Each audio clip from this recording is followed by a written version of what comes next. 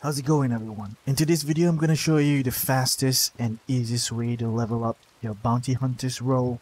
You will also earn a big chunk of XP and money, which I found the easiest way to level up as well in Red Dead Online.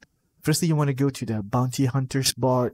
You can do this from the online menu as well if you're far away. Simply interact with it and you want to press triangle to go to the legendary bounties. Then you want to select Ida Doyle. You can do the higher difficulty here. As you can see, I'm doing 5 star rating. But by using this method, you don't have to spend a single bullet. It'll be super easy. Also take note the legendary bounties have a 1 hour cooldown. So you want to be sure to follow this guide in this video carefully so you can get the maximum amount of XP, bounty hunter XP, money as well as gold. You'll see a short cutscene about Ita and your character's arrival at the Cornwall train station, and these guys are telling you to be ready to ambush her down. Uh, looks like she only sent one. Okay, we gotta move fast here, come on. Now the bait's already been set. Etta Doyle and her girls could be here any minute. Alright, once the mission started, you want to straight away head towards the underground tunnel right here to just hide and wait.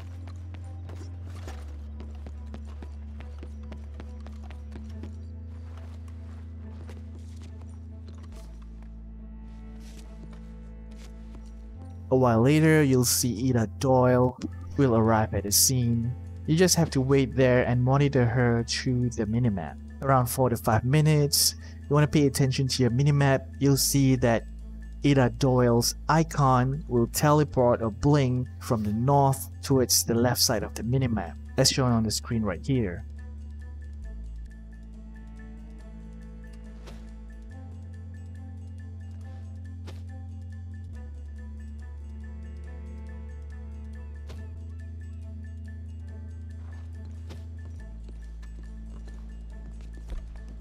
Once she teleported like that, you want to equip your lasso and be ready to catch her. You want to go near the corridor and just wait for her voice cue. The moment she said, let's move out, you want to run out and straight away hog tie her. There's nothing. It's a goddamn set. We need to get the hell out of here. Come on, quick. Let's move out, okay? I heard it. Think I heard something. You'll notice that her gang member will just leave her alone and won't help her at all. I think this is a glitch by Rockstar. So after you hog tie her, you want to call your horse and then stow her on your horse and then just use the back route towards the jail. So for this part you want to listen very closely. Once you're about to reach the jail, you don't want to go to the yellow area. On your minimap, you just want to stop right here before the yellow circle. You want to carry her and put her down on the ground.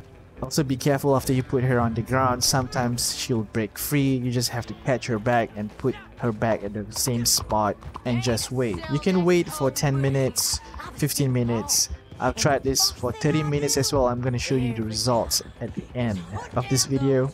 So basically the longer you wait, the more XP, bounty hunter XP, gold and money that you will receive as a reward. And literally you don't have to do anything. Just be sure you don't get kicked out from the AFK timer. And also you want to watch her once in a while so she won't break free.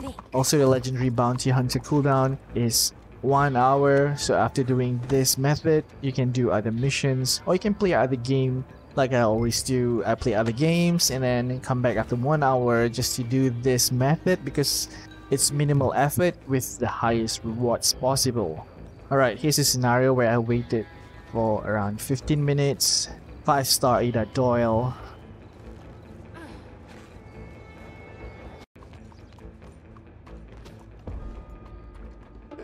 As you can see, just 0.1 gold bar with an addition of 0.36 gold bar there, around $200 reward, and 1.1k XP and bounty hunting XP.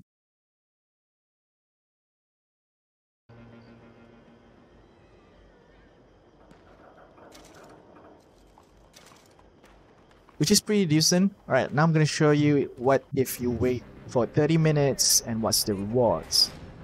Alright, for 30 minutes you'll get $217, 0.54 gold bars, and a whooping 1.6k XP as well as Bounty Hunters XP, which is pretty a lot. that is almost one full level of bounty hunter. You need 2k bounty hunter XP in order to level up one level. So that's it for today's video. If you find it useful, be sure to hit that like and also subscribe to the channel for more future Red Dead Online content. This is Joe and I'll see you next time.